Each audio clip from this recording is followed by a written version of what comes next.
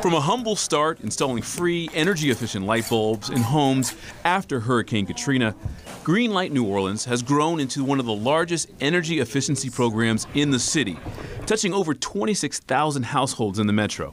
So it's really an environmental project, but it turned into as much uh, a social and community building aspect. Donna Dunn was one of the first in her Gentilly neighborhood to open her mind and her home to the Greenlight volunteers. To me, it's just heartwarming to know that somebody cares enough about your city um, from wherever they are to come in and help out because they want to see you succeed. Greenlight's next step tackling another important issue. In many parts of the country, there's not enough water, so you have to save every drop. For us, it's the opposite. We have too much. So where does it go? We pump it out constantly.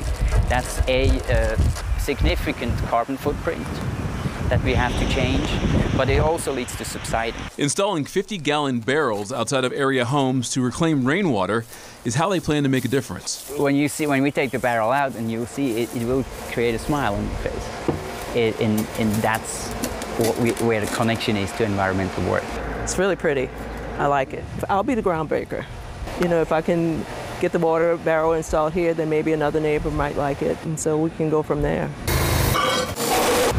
It's a system that Greenlight has used over and over to make a difference to the city. Very good. And to the planet.